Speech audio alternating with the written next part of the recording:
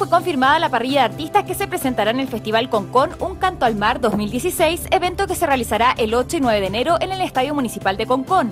El espectáculo contará con la presentación de los Vázquez, Miriam Hernández, Álvaro Salas y el rolo humorista Patagón.